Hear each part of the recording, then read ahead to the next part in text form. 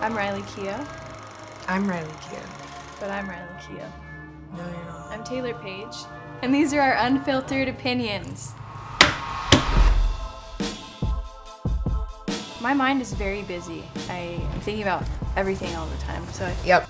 We care a lot about a lot of things all the time, and it's exhausting. I love how you say we, like. Because we're a collective, because we are all one. Oh, I know yours. Hers is numbers, synchronicity with numbers. yeah, 11. She'll be like 11, 11, 333, 33, 5, 5, 5, 5, 5.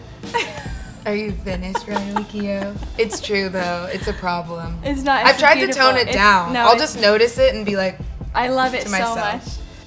I think I vague out a little bit, maybe sometimes. vague out? Oh, veg out? No, like I get lost in my own world a little. Maybe I'm not paying attention. Oh, yeah. I guess a couple times I'm like, Riley, are you listening to Yeah. me? And she's not. yeah. I'm fed up with a- hatred. racism, duh.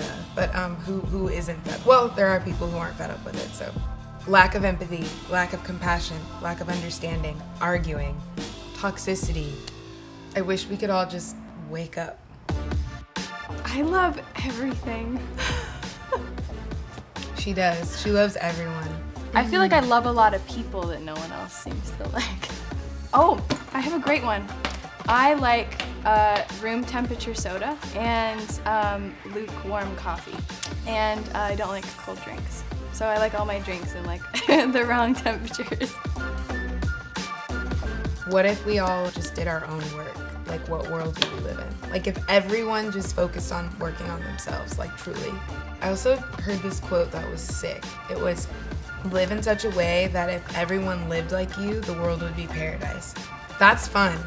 I think if people were not so afraid to be vulnerable, Oh, um, yeah. that Honest. change things. Be If honest only we could just show up as ourselves. We have so much shame.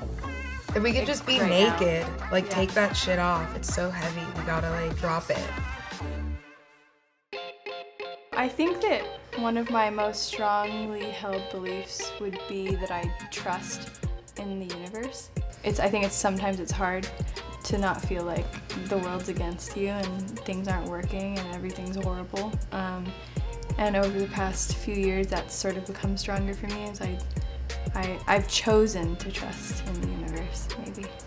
I believe in humanity. Like we could get there where we could just be love. I don't. Think Did we land the plane in Spain? Mainly, whatever. I don't think we did.